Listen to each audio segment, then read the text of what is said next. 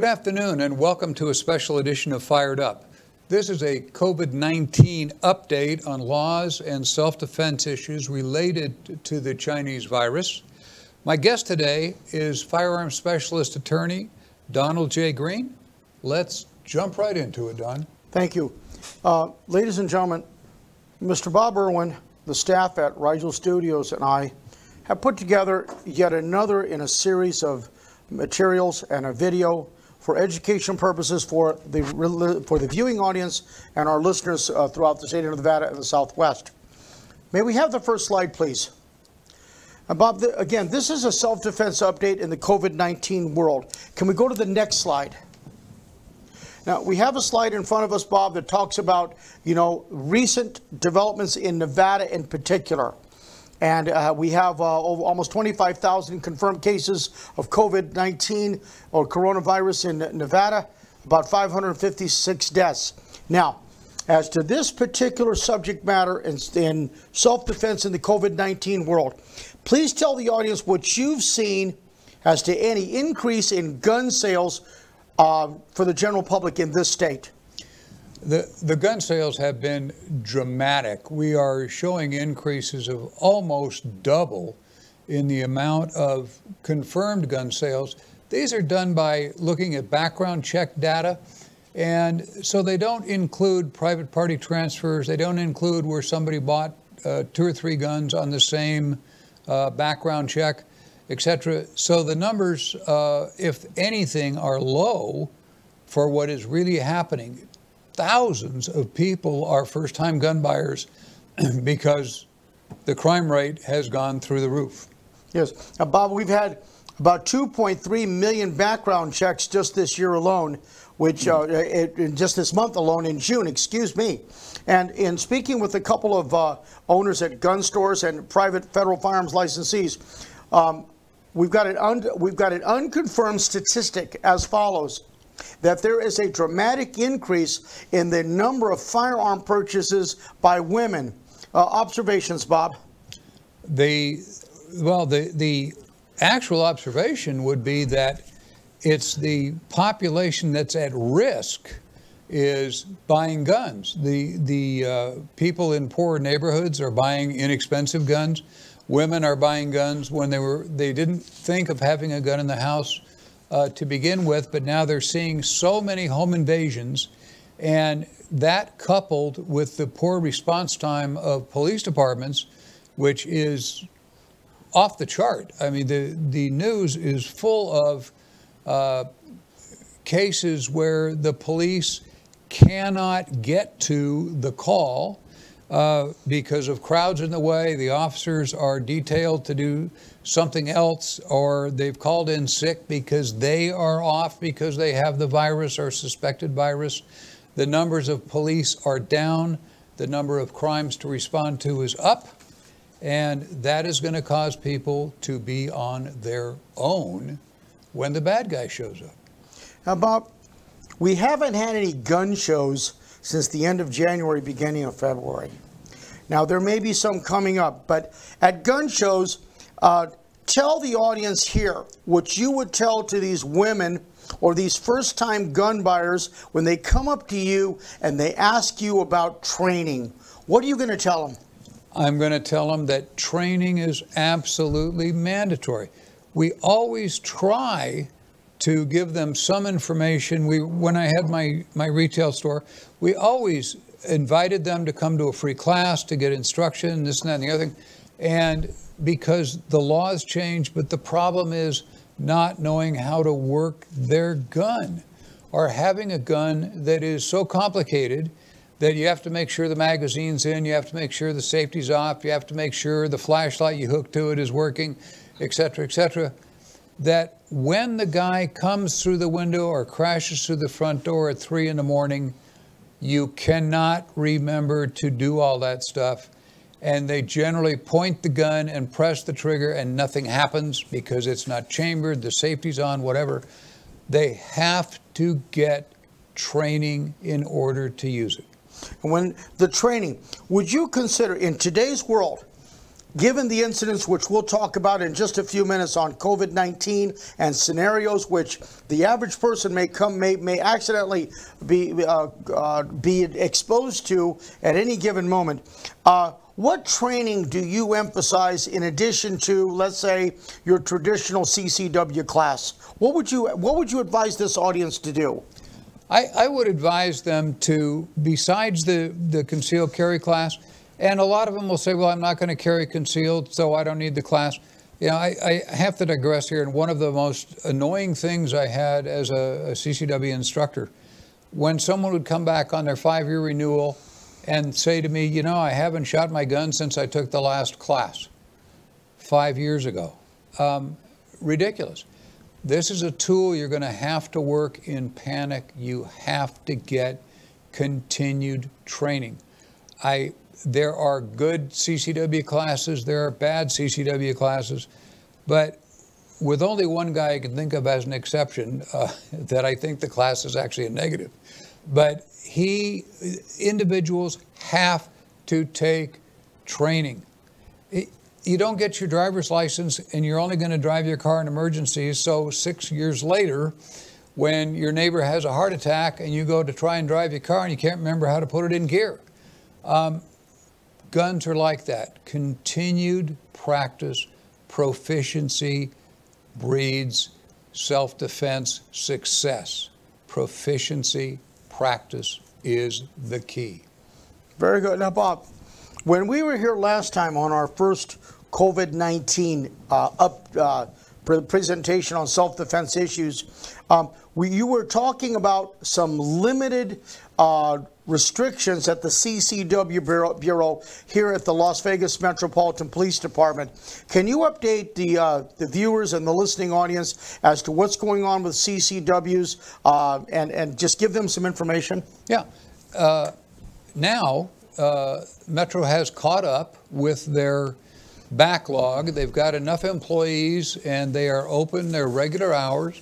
Um, their system is a little different you go, have to go online and fill out a form to apply uh, for your CCW, whether it's renewal, whether it's not, whether you're a citizen, whether you're not, etc.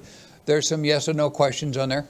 Um, and if you're not prohibited from a CCW, um, then at the end of that scenario, it will give you a choice of appointment times.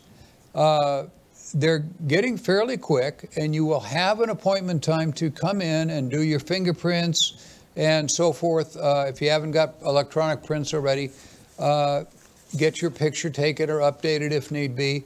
But they are running just as normal right now.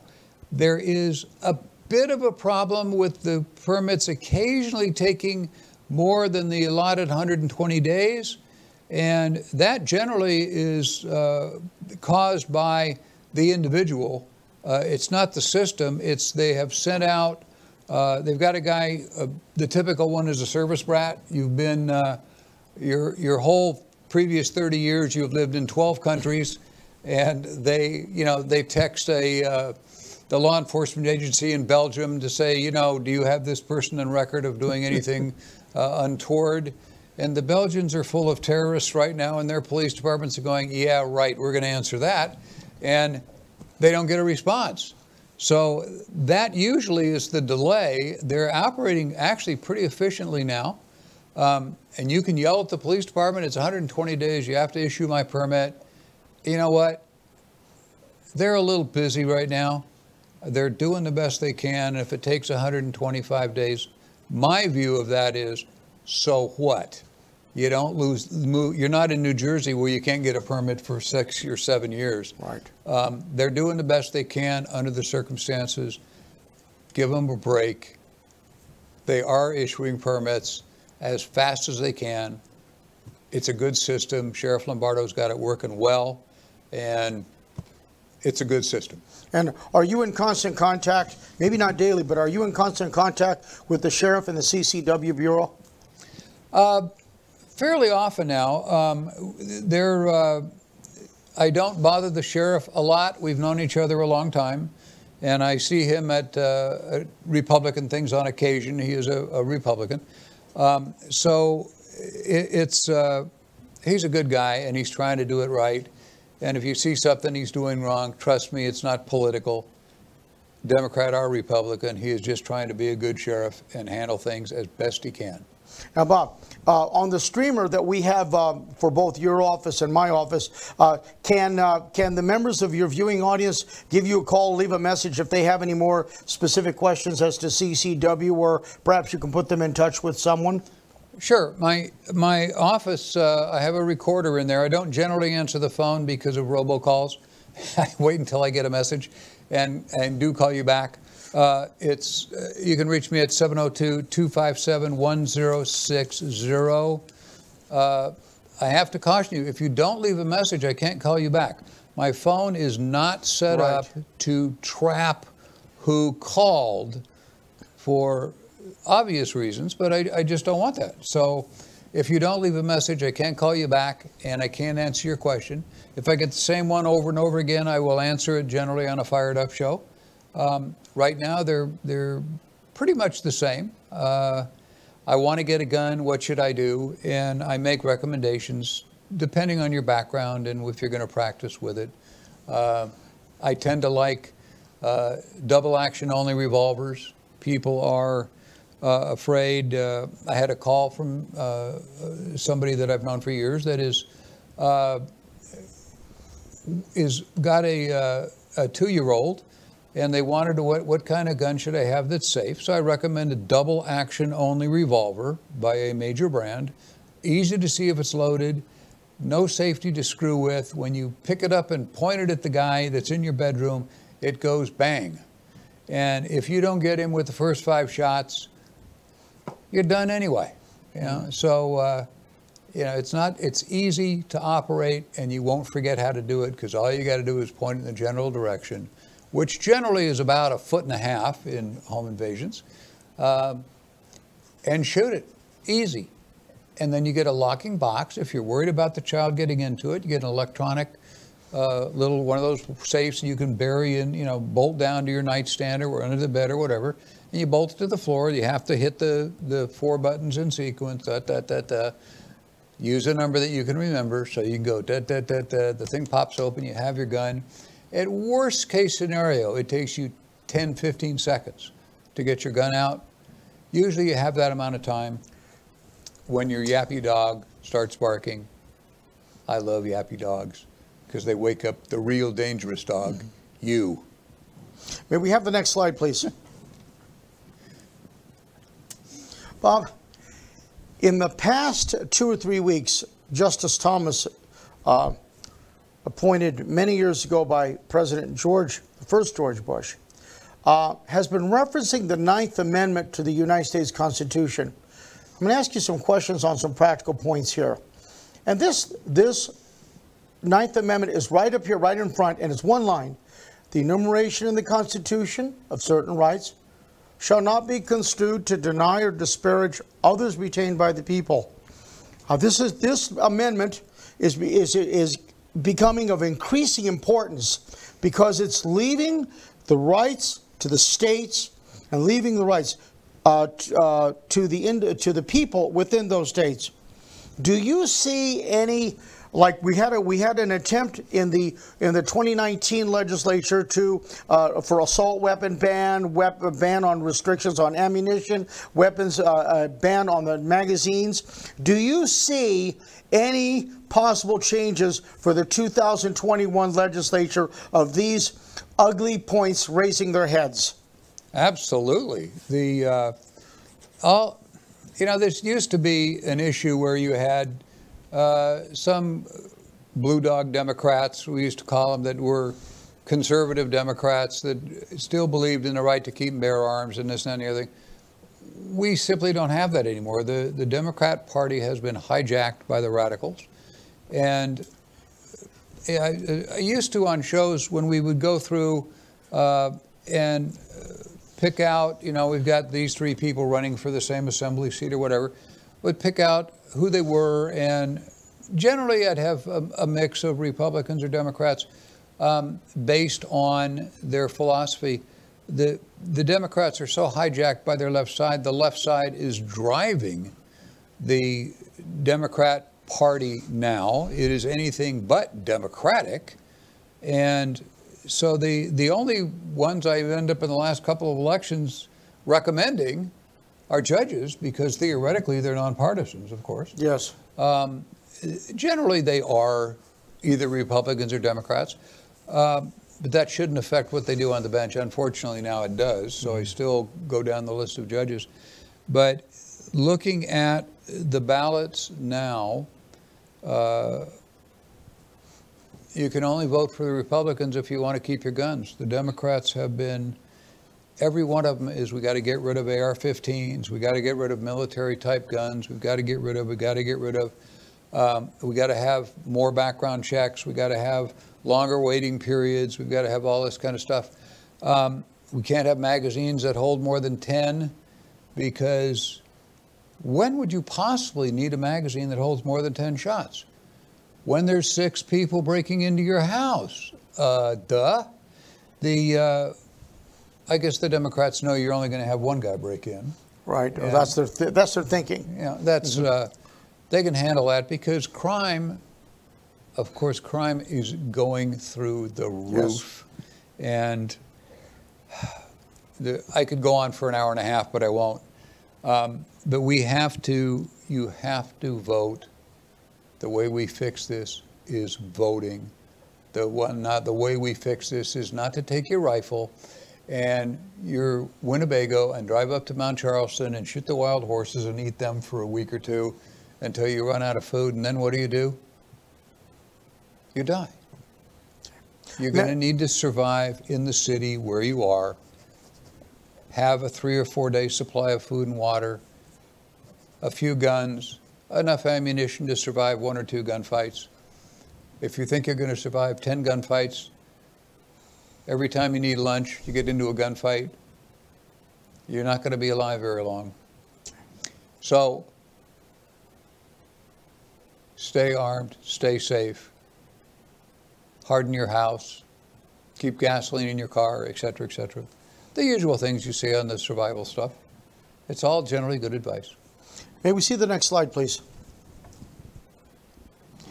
Bob, the Bureau of Alcohol, Tobacco, and Firearms uh, recently uh, submitted, as is required by federal law, in notes and comments on the new federal firearms uh, transaction report, also known as the 4473. Now, this is the form which everyone in the state of Nevada, whether pub, whether private or public or private sale or one through a gun dealer, you must you must fill this out. And uh, one, we're going to go through this for just a few minutes. In the very beginning section of the new form, and your your viewers and your listeners have got to pay attention. Right up front, the you've got to put in the manufacturer importer of the weapon, the model, the serial number, the type, and the gauge. And it must be completed by the seller before the transferee completes Section B, and that's your name. Now, in the previous version of the 4473, which became effective in 2016, it hadn't been changed in several years, but four years ago, this section on the weapon was actually on page three of the Form 4473. So right now, the Bureau of Alcohol, Tobacco, and Firearms is putting the type of weapon right up front. So there, someone can't say, and I've seen this. Well, I really didn't know um, the serial number. Uh, I thought I was getting a 9 millimeter, not a 45. I thought I was getting a CZ, and I ended up getting something made in Argentina. Well, this isn't the purpose of this form. The purpose of this form is to put you on notice that you are obtaining a firearm and that you're sure of what serial number and everything on this and that it's got to be prepared before you complete the, the other information on the second one. Bob, any, any observations as to whether there's, you're going to see any resistance to this new form? Well, I, I don't think you'll see resistance to it. I, they're going to use whatever form they need to use if they want to buy a gun. Um, they really don't have a choice. But I, I see a, a little different flaw in this. The when transactions were not complete, we would have to uh, save those 4473s. When we start down the thing and the guy at the, at the, we get through the first page and go, well, yeah, I had a misdemeanor domestic battery in 1937, and well, now you're a prohibited person uh, because you have a domestic battery, and that gives you automatically uh, a lot of paperwork and a lawyer. You may still get the gun, but right now we can't make the sale.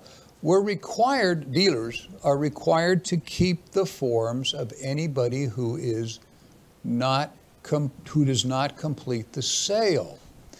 That is so ATF can go through when they do their audits and they get copies or pick up, and we keep a copy, of the forms that were partially filled out, but the guy didn't complete the sale.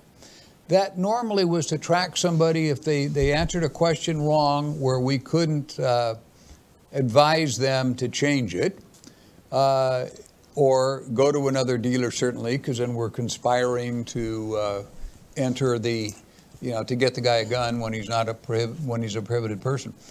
But we keep the forms. Well, now with this new form, when we keep it, it's going to show that you have to have uh, all these guns that you own on the form. So they will develop the wrong way around and backwards. They will develop a list of gun owners that have guns legally if you fill in that you own this and this and this gun, uh, that will become part of the record that ATF has, and they end up backhandedly with a list of guns that everybody owns. I, I, that may not be the intent, but that is going to be the result. ATF does a fine job of tracking uh, illegal gun buyers, yes. busting gun rings that are selling interstate and so forth and so on. Um, they do a tremendous job of that. Their, their criminal investigation teams are really good. They are tracking guns in some of these major cities and shutting down a lot of uh, gigantic gun stuff that is going on around the country. But they're creating a database here that I'm not sure uh, the public wants to be in. We'll have to see how it's handled. Anyway, this is a proposed form. Yes. Um, it's still got public comment on it, but you know what? They're going to use it. Yes. It's the public comment by the pro-gun people. It's none of your business what kind of guns I own if I'm not committing a crime. They go, oh, okay, that's fine. And they yes. do it anyway. Yes, and the gun dealers uh, can pre-order 50 packs. This is a commercial for ATF. You can order 50 packs of these starting at the end of July, and according to the regulation as proposed, this form will become mandatory on November 1st, uh, 2020. So that's, that's, after the public comment. It after the public comment, there's no question this is going to go through.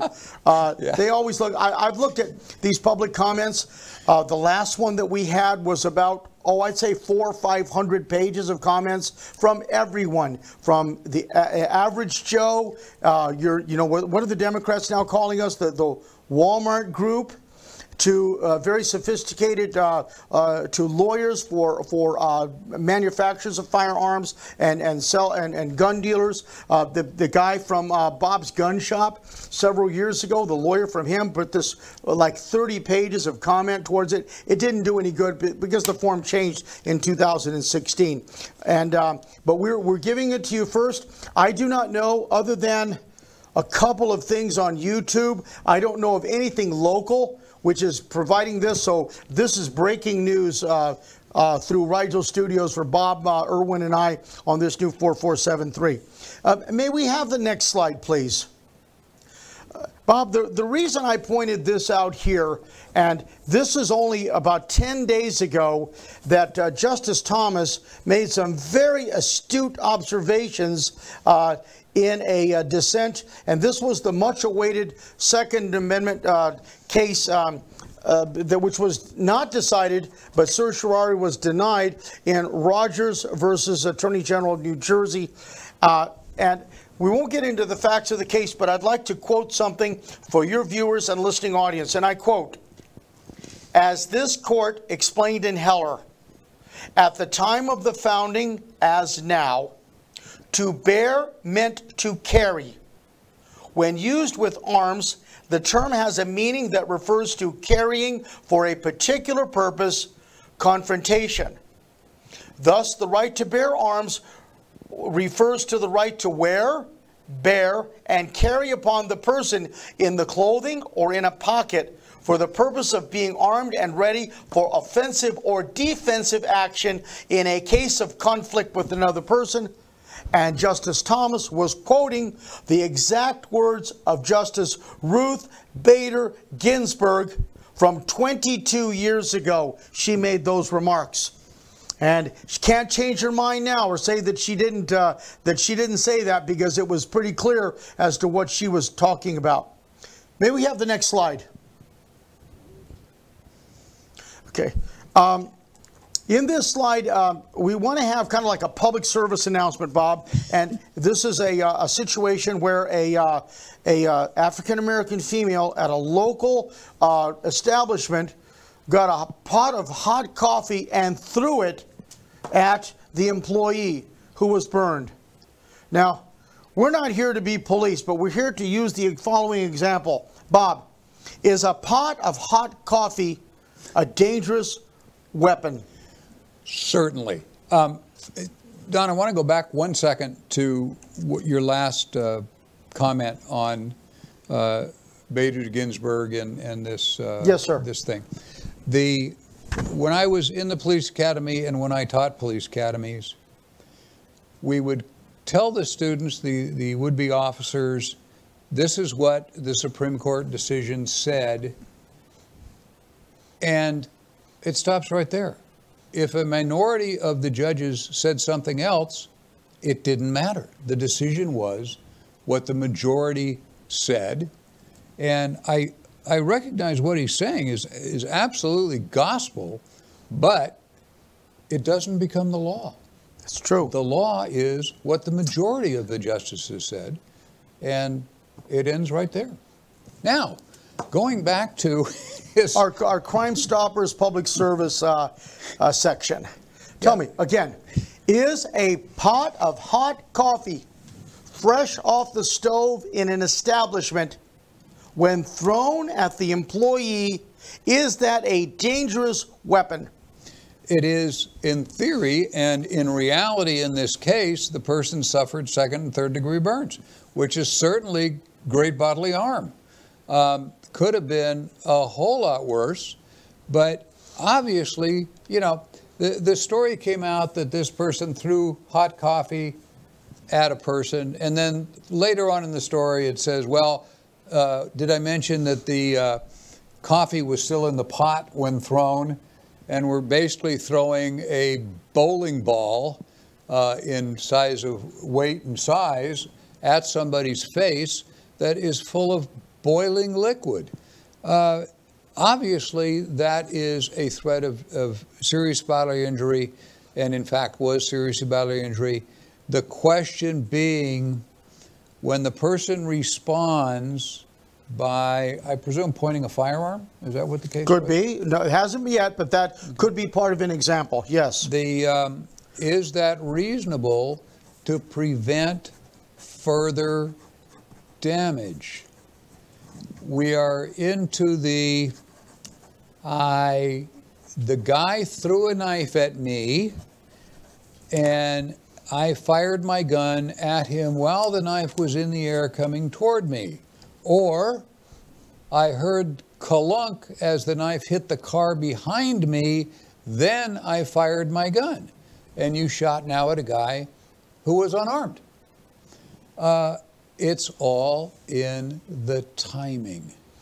But so, in, in this instant case, there is no timing. They were actually injured, so we don't need to get into the woods And if this woman who we, I understand, is the woman in custody or she was never found? No, not found. Never That's found. why they're still looking for her. And this was in March, right in the right as soon as COVID nineteen started.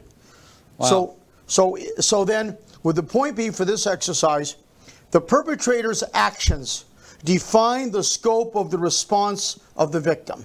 Yes, they do. You are reacting to what you see, and you may not know all the details. This is going to get into the same thing we have with, with police now and qualified immunity, but uh, it's a similar issue. You don't know everything that's going on when suddenly you're attacked. When suddenly someone crashes through your front door, you grab your gun and you fire because it's three in the morning and it turns out it's a 12 year old child. That gets to our next slide, if we could, the first video. There you are. You only can react to what you know at the time. Thank you. If we can have our next video and okay. There, find it. I'm not gonna touch it. I think it went over there. Pick it up. You spit on the front counter. Don't do that.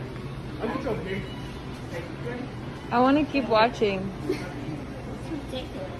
No law that says you have to wear a mask. This was a video of a woman spitting Find it. I'm not on the, if we could stop it right there. Well, just keep going. Uh, is this a situation where the woman is not wearing a mask in a convenience store, which has a, a marked sign saying you must wear a mask? Is that spitting towards the clerk? Is that, could, could that be a deadly weapon? Could that be great bodily injury? Or,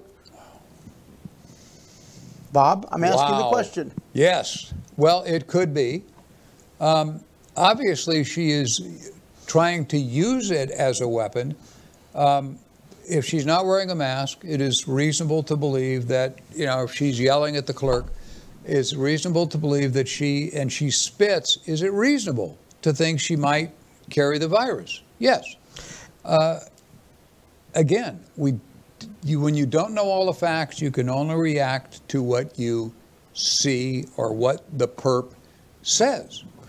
As to the person taking this video, assume that the lady turns around but does not spit. Does he have the right at that moment to draw his weapon? Is that enough in, in, uh, in your experience? No. Why? not. Why, Bob? Because he's not the target of the attack. She is not trying to spit on him. If the spitting continues towards you, is that enough to pull your weapon? And our people have got to know about this. Her only weapon is her spit. Yes, I believe it would be when we get into actually using the gun would be a, a bridge further yet. But if someone is advertising that they have the Chinese virus and they spit at you, I would consider that a dangerous assault. Exactly. Let's make the point again, Bob. Lady turns around and says, waves her lab report. I have just tested positive for COVID 19 and spits. Result? Result is your life's in danger, particularly if you're an at risk person. I know it sounds like a ridiculous example, but this is happening right now. May we have the next slide? You're harassing me. I'm not a harassment. You're coming close to me. Back off! Threaten me again! Now, Back the f off with your phone down! This is our Costco Chad, I guess to use the current terminology of a of a of a uh, an- of an advantaged white male. I guess they're calling him Chads, and the women are Karens. According to the producers here at uh, at Rigel Studios, we just saw uh, the uh, we just saw the 7-Eleven Karen. But this man, not wearing a mask in Costco, Bob. Question. Is approaching the videographer for YouTube or whatever. Phone down! Is that enough of a threat for the videographer to pull a firearm? Answer yes or no. No. Why? He's it's a verbal assault. He's chewing out the guy for whatever reason without hearing what he's saying. Uh, he's just yelling that he. The idea is he doesn't have to wear a mask. I, I don't know what he's yelling, but what he's actually saying, given that demeanor, would make a great deal of difference. Without hearing what he's saying, it's a verbal assault. Uh, Hell, I've yelled at you like that and you haven't shot me Right. yet, so. The, the man, the, the Costco Chad was yelling, uh, You're assaulting me, you're threatening me. Is that enough to respond with a firearm? No. But, Bob, tell the audience, if you don't mind, we, we had this example about two months ago. Can you tell them your example of your own experience at Walmart? Standing in line. I, I was at a Walmart and I had a, uh, there, I was at the end of the line and there's a whole pile of shopping carts and so forth. And a couple of guys were picking up the shopping carts and throwing them into the planter because there was no room to stand in line and being very boisterous about the security. And I'm watching them to see if they're going to throw them at any people. They didn't. They were just trying to annoy the staff. When suddenly I felt something next to me, and there's a guy standing next to me, appeared to be a, a vagrant, smelled bad, looked bad, and he's in my space, actually pressing his body against mine. I pushed him back or spun away a little bit, so I was out of contact with him, and he started yelling at me, You're the one, you ruined my life. You know, I thought he was a fan, but he obviously wasn't. Um, and there was a security guy standing about four feet away from me. So I turned to him and I said, I need some help here. And as I turned back, the guy was hot footing it through the uh, parking lot, running away, screaming at the top of his lungs. Um, he got into my personal space. Was it reasonable for me to point my gun at him? Well, one, we were too close for that. Uh, if I come up with a gun, he would have had hands on the gun. I need to need to have a little space if you're going to pull a gun. Um, but and by the time I turned around, he was running away. Um, could I have shot him? I'm, you know, here I am at, at mid 70s, past mid 70s, uh, underlying issues certainly. Who uh, that's over 65 doesn't have some underlying health issues, you know? So. Uh, it didn't come up because of the distance and the circumstances, and he ran. And your training. And yeah, I had to have distance to have the gun out because then we'd have been fighting over the gun, which would have been a total disaster. So, because we're in a crowd of people and there's children there and this and that and the other thing. So, the training was yeah, I listened to my own lectures and I didn't pull my gun because it was too close to pull the gun. If I had to do anything with him, it would have been to take him down to the ground, and I really didn't particularly want to touch him. So there we are. May we have the next slide, please? Or the next video. Okay, Bob, this is the couple in St. Louis where the agitators broke through a gated community, private street, and, and went to this house. Now, the St. Louis District Attorney is still contemplating charges against these two people who are lawyers. And uh, observation as to these people coming out of their house to defend their property. Well, apparently the, the protesters crashed through their front gate, which is not shown on this video. That's how they got there. It's a gated community with a heavy steel gate that uh, blocks the front. Their house, there's, there's several houses in this little complex. Theirs is the one directly on, on the other side of the gate. So as the, these guys crashed through, the the homeowner, of course, had tried to call 911, and it's private. They got some answer that wasn't satisfactory. Nobody's coming now. Uh, we'll be there in a day or two, or a couple of hours, or we're backed up on calls. Uh, we have no one available. Whatever the the dispatch said, which was no doubt the truth. They couldn't get there at the time. Um, so the guy has his AR-15 rifle. Uh, he is not holding it uh, with his hand on the grip where he can reach the trigger. He is holding the where the stock joins on the back end of it. The wife, however, ha- comes up with a handgun and she is holding it uh, where she can pull the trigger, and she does actually point it at the demonstrators. Um, they took the better part of valor and didn't charge the house. They were within 15, 20 feet of these people. They're worried about their house being burned down. They're worried about physical injury to themselves. The protesters are, are yelling that. We're going to take over your house. We're going to be living in your house, and I'm going to kill your dog. Uh, they brought up because the dog was barking at the, at the bad guys. Um, all of this was going on, and she was reasonable in pointing the firearm, in my opinion. They were close enough to be a danger. They were threatening to take over a house and burn it down um, and kill her dog. So obviously, they were in good stead to do this. The more interesting part of this to me was if we look at the people, they are both lawyers. They are dyed in the wool liberal lawyers. They have donated to most liberal causes. Uh, and as a last resort, you know, got some guns because they were worried about getting their house attacked and burned down. And now uh, they've kind of switched sides that they've seen, but I've seen this before with some liberal politicians, that they, when it comes down to them, they suddenly become pro-gun. Yes.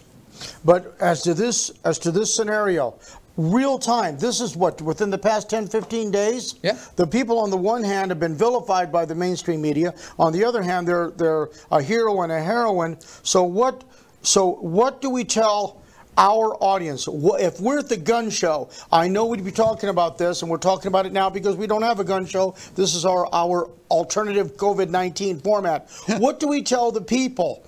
That don't run out of your house with a gun, but when you've got a crowd of agitators who have busted in the gate, that's telling me they're not. They're, they're these these average communities. I live in a 55 and older community, and there's no gates or anything.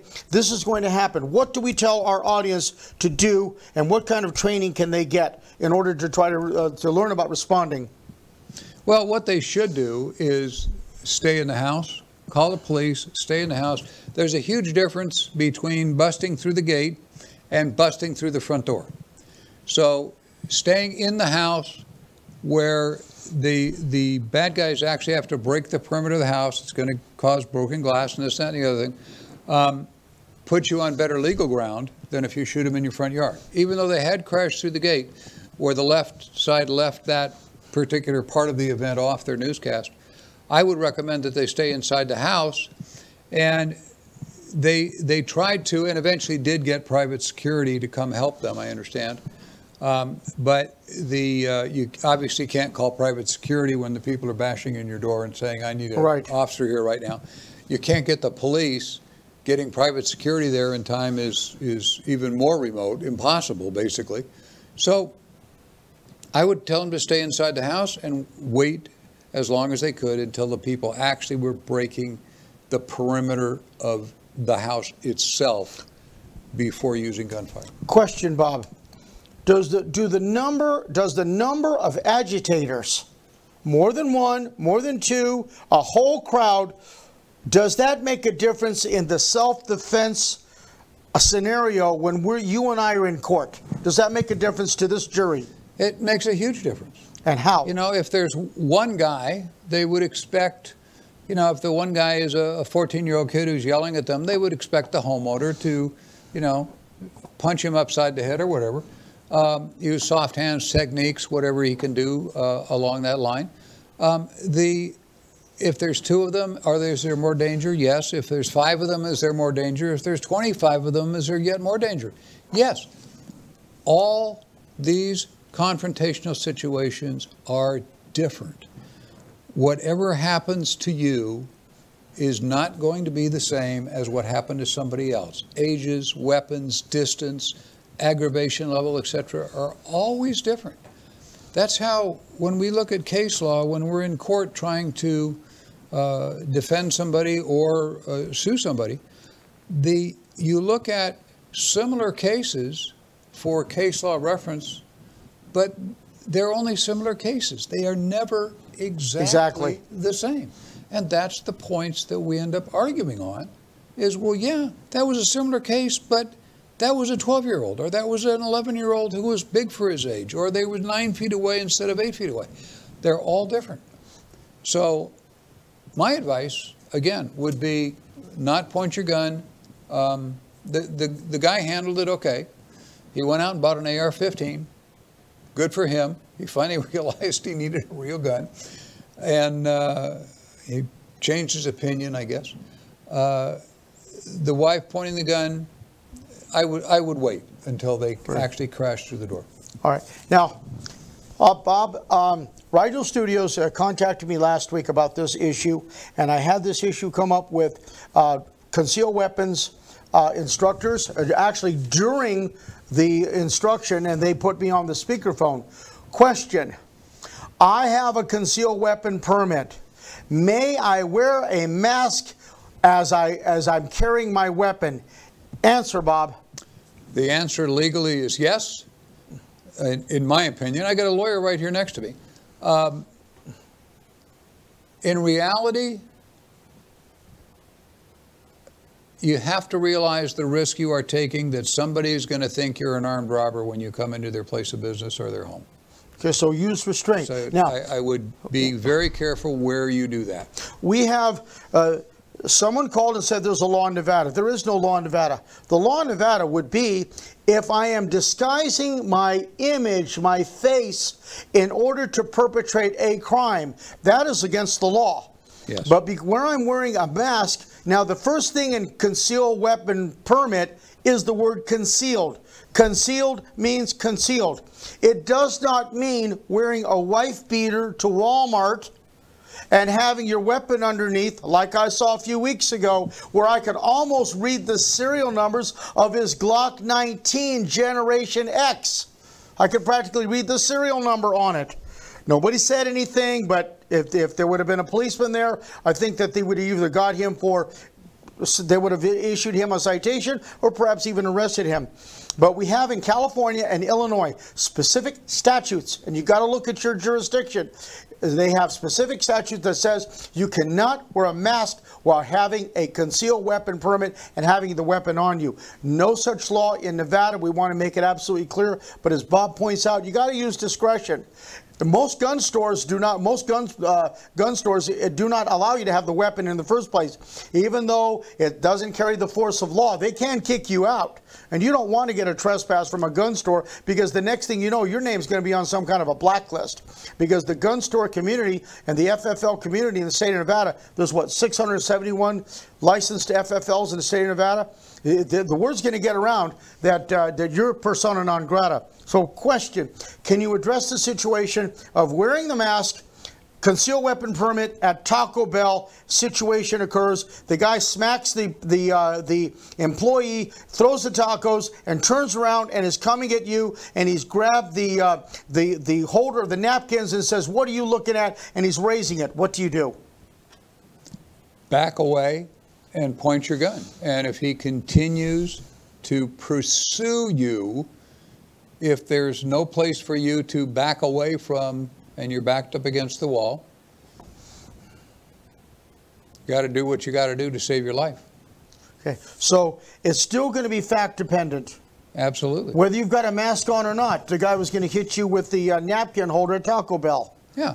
I mean, getting back to the other point, the advice to be if you're going into a gun shop for some reason and you've got your gun because you're going to class or you want to ask a question about how you load it or whatever, as you step through the door, take the mask off. I know the governor will put you in jail because you're not wearing a mask. Uh, we're all in Governor Sisolak's debt for that. But obviously, there, there's a trade off here where you need to not scare people because you're wearing a mask. So pull a mask down so they can see your face and say, Can I ask you a question? And they go, oh, Sure. And then, you know, you can put it back up and walk in the store. Sure. But it, you're in a no win situation. So you got to disobey the governor. Okay. Well, Bob, I want to thank you for today. This has been a uh, very instructive uh, uh, program. And uh, again, we're doing it as our COVID 19 response, uh, which we'd be giving this information at gun shows. Bob, uh, on our closing remarks, uh, anything on uh, upcoming gun shows in the near future? As far as I know, everything so far is canceled. Uh, as I as we were talking on the break, the the Convention Visitors Authority is looking at one in August at the Convention Center, uh, South Hall of the Convention Center. As far as the Convention and Visitors Authority is concerned, that show is a go for August. Uh, unless there's some giant change, the governor uh, or the mayor, the whoever wants no gun shows that is not in the purview of the county commission. It's in the purview of the, it's the are, and uh, convention authorities. It is their venue. It is their show. Uh, As far as I know, they are going to have it, and it will be on. I will be talking to one of their board members tomorrow, actually. Um, And I'll know uh, well before that show goes. You'll be the second to know. Oh, very good. That it's, they're going to attempt to put it on. The areas we had downtown where the tents and so forth, because of construction down there, the parking has become literally impossible. So most of the shows down there, they're still running a dog show or something, but anything that, that requires a lot of cars and this and that is just a no-go because of the building down there at the, at the downtown uh, location. But the convention center should be a go. I think it's scheduled for August, mid-August. uh, Yes. And that date may move a week or one way or the other because of other conventions and so forth. Um, But that's a go as far as I know, and my viewers will be the third to know. Yes. Mr. Green will be the second to know. Yes. And again, uh, your viewers and uh, listeners can, uh, can call us. My, my direct cellular is area code 702 409 8239. And remember to leave your phone number because sometimes it just doesn't come up through the system or whatever. We'll be glad to answer your questions as we have been doing all week. Uh, and uh, again, I want to thank Rigel Studios for this uh, special presentation and all their hard work. And uh, I want to thank Mr. Bob Irwin. And uh, good day to all of you. Thank you.